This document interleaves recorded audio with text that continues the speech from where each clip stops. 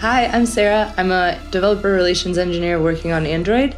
Um, let's take a look at some of my favorite form factors announcements for previous I/Os.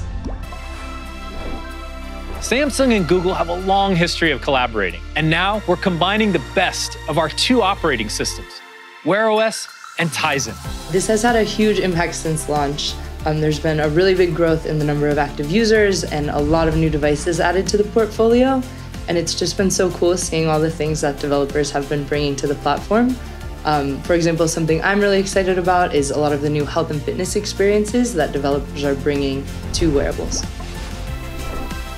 This year, we are going big on large screens and tablets. Now, normally we wouldn't announce a new product a year before it's ready, but there's so much amazing energy around tablets in the developer community that we wanted to bring you all into the loop. Here's a first ever look at our new Pixel tablet.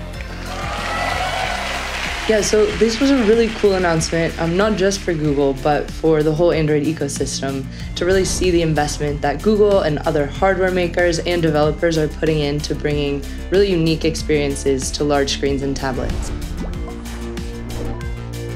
And today, we're happy to announce Android Auto.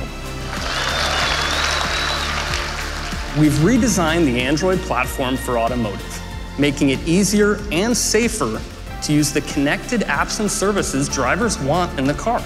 That was a really exciting announcement, um, and the developer sentiment has continued to be really positive. There's a lot of growth in this space and a lot of new developments, and it's a really unique form factor for developers to bring experiences to.